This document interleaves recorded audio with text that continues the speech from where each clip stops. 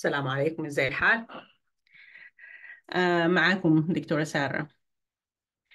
أنا والله اليوم آه داير أتكلم عن حكاية ال- ال- الحرب الإعلامية والنفسية ضد الجيش السوداني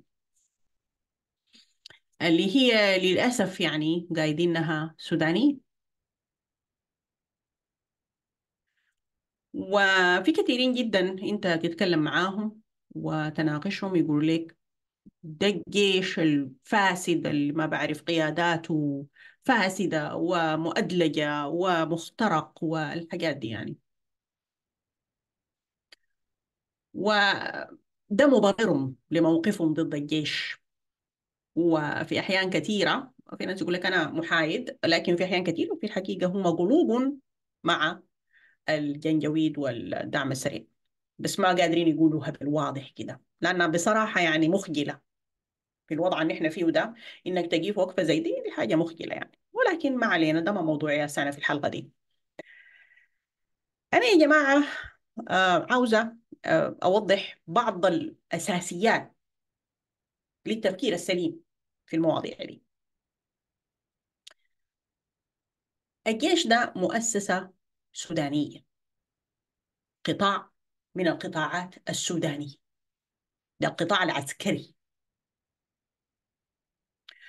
والسودان ده له عشرات السنين. ما كان فيه أي قطاع ماشي صح. ما في. لا قطاع زراعي لا صناعي لا مالي لا ما في قطاع من قطاعات الدولة السودانية كان ماشي صح ولحد هسه. كلها مصابة بأمراض الفساد والمحسوبية وال والعمالة والتهاون وسوء الإدارة وكل أنواع المشاكل والأمراض اللي ممكن تصيب أي من هذه القطاعات وتؤدي إلى تهالكها وكده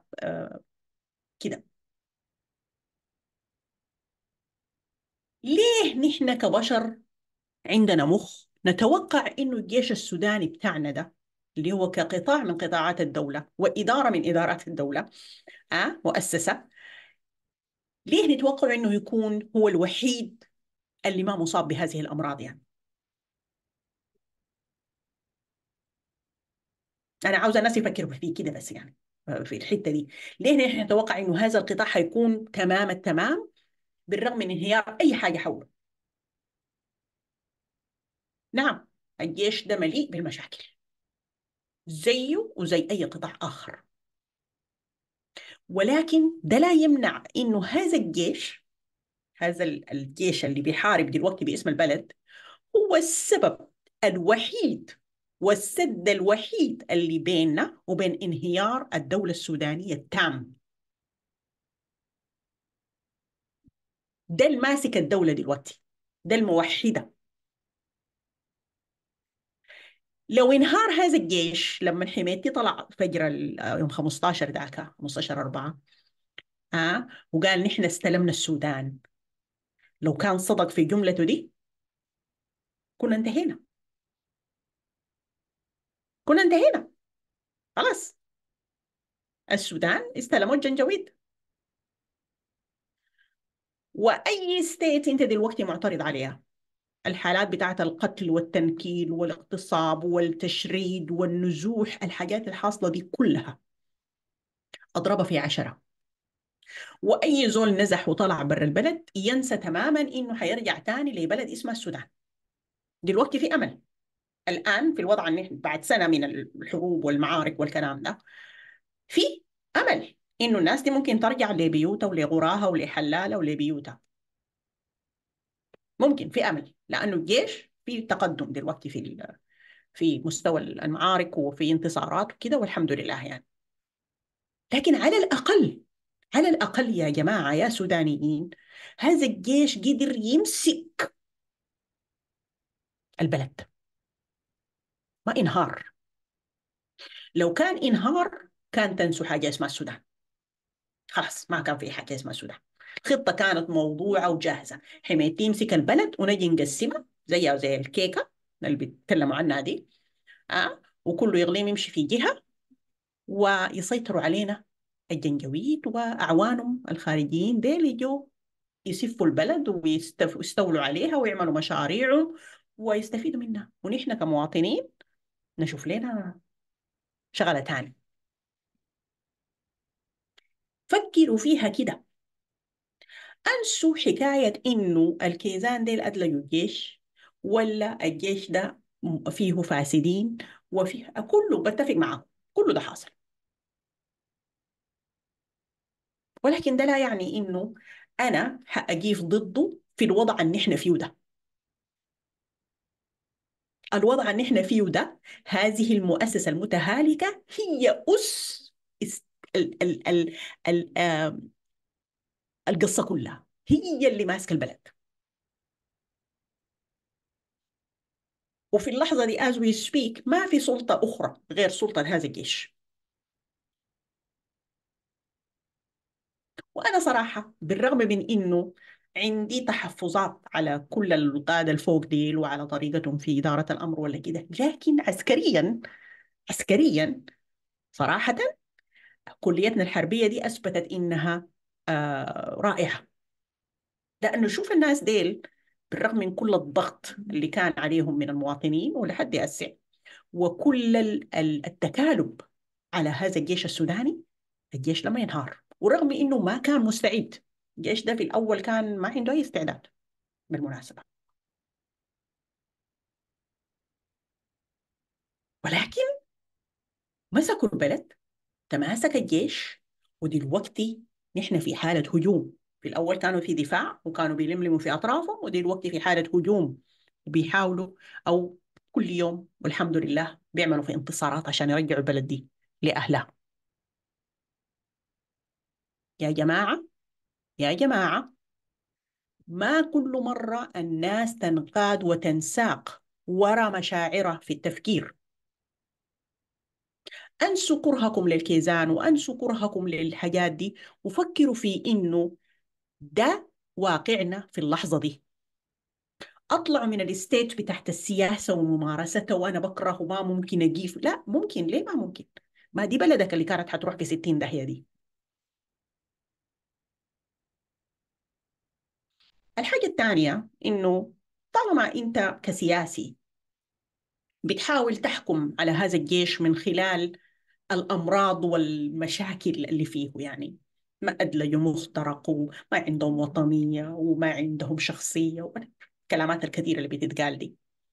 ليه أنت ما توجه نفس العدسة بتاعت ال ال ال آه، التفكير دي التفكير النقدي ده لنفسك كسياسي؟ هل نحن السياسيين أو ما يسموا أنفسهم بالسياسيين هم في الحقيقة سياستهم دي أنا عندي فيها رأي لكن اللي ما يسموا أنفسهم بالسياسيين وطالعين ونازلين بيتحدثوا باسم هذا البلد وما في زول وكلهم عشان يعملوا كده هل هم خالين من المشاكل؟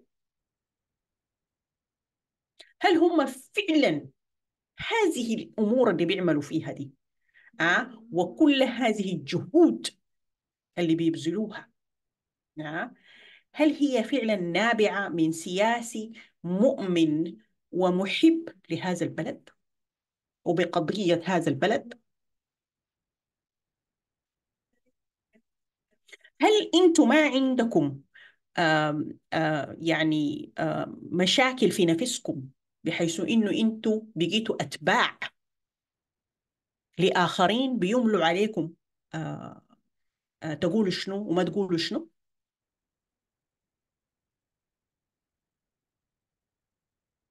هل أنتوا فيكم دلوقتي قائد رشيد قادر قوي عنده رؤية حقيقية لإخراج هذه البلد من اللي هي فيها؟ ولا أنتوا كل يوم الصباح بس تجيكم فكرة أو يرسلوا لكم فكرة تمشوا تنفذوها؟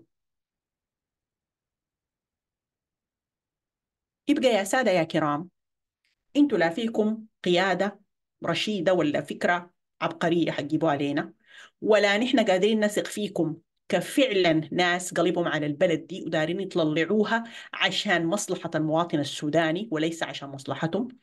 وكذلك أنتم ما عندكم قدرة انكم تتواصلوا مع هذا الشعب المكلوم وتوروه فعلا انكم واقفين معاهم في خندق واحد في في في, الكارثة اللي هو مر بها دي كلها دي قدرات السياسي الحقيقية السياسي الحقيقي والقيادي الحقيقي بيعمل كده. دي كلها ما في فيبقى أنتوا قبل ما توجهوا عدساتكم دي وانتقاداتكم للجيش السوداني اللي هو دلوقتي ماسك جمر القضية كلها آه وبيقاتل وبي صامد عشان البلد دي تفضل واقفة.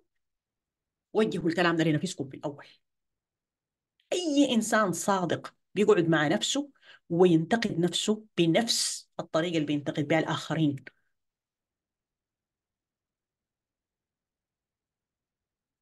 نحن لو عاوزين ننظر لإصلاح هذه البلد آه عشان تنصلح وتبقى صح وتمشي صح آه أول حاجة نبطل التعنت آه اللي ما عنده معنى.